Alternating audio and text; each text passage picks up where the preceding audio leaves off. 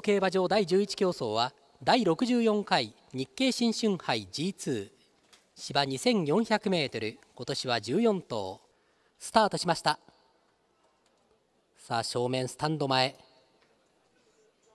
徐々に隊列が崩れてやはり内から2番の山勝雷電が前に出ていきます。2番手の位置には4番マドリードカフェ。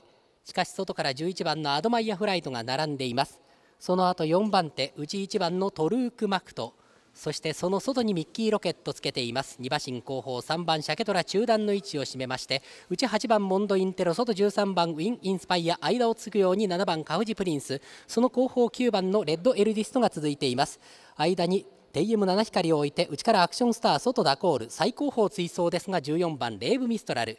各馬1コーナーカーブし終えて2コーナー。先手を奪ったのはやはり2番の山勝ライデン。逃げてリードは2馬身半。単独2番手11番のアドマイヤフライトとなっております。3番手の位置3馬身4馬身開いて4番マドリードカフェ。そしてその後ですが少し開きました。外ミッキーロケット内1番のトルークマクトと追走です。前半 1000m1 分0秒2で通過しています。向こう上面へと入っています。その後3番のシャケトラが続いております。そして1馬身下がったところゼッケン8番のモンドインテロが続いてかなり縦長3馬身4馬身開きました。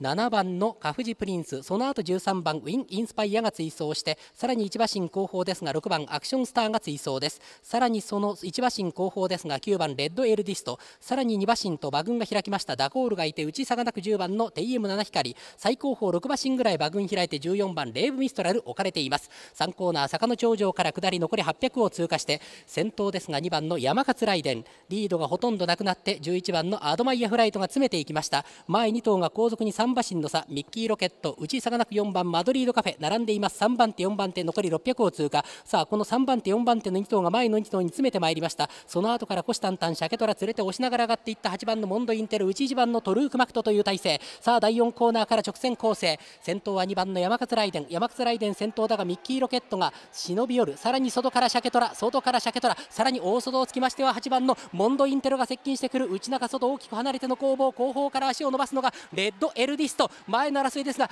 ミッキーロケットシャケトラミッキーロケットシャケトラ3番手争い接戦になりそうだがミッキーロケットシャケトラミッキーロケットシャケトラ全く並んでゴールイン。ミッキーロケットかシャケトラか。